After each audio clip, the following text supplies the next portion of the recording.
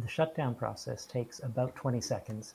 After you see the power down message in the serial console, the activity light will flash for another few seconds. When it stops flashing, the process is done, and you can turn off the power.